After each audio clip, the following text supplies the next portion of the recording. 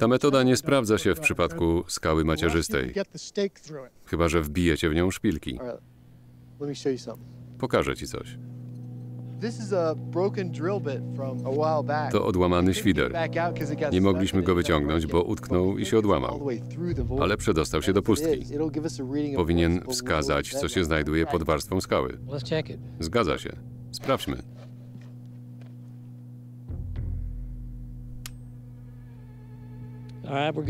Gotowi? That's 40 foot in depth. Głębokość 12 metrów. 18.68. 18,68. Więcej niż dotąd. That's not. Nie ma tam przecinka. There's no period on there. Oh, really? Naprawdę? Hey, come look at this, Eric. Chodź zobacz. What you got? Co jest? At this. It's 1800. 1800. Wielka sprawa. Otwarta przestrzeń. Jeśli się przebijemy przez skałę, dostaniemy się do jaskini.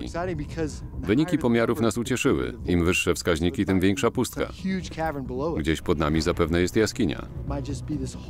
Może cały ten teren kryje ogromną jaskinię. To jest coś. Brawo. Stawiasz piwo.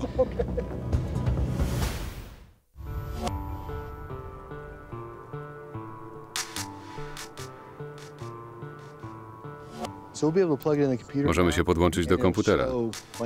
Pokażę różne kolory dla wody, metalu i tak dalej. Świetnie.